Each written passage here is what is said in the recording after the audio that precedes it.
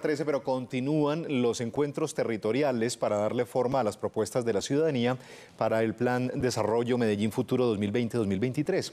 En el centro y Laureles sus habitantes se reunieron para socializar sus sueños de cara a la ciudad. Hoy el encuentro será en la Comuna 12, la América y la 16 Belén, desde las 3 de la tarde.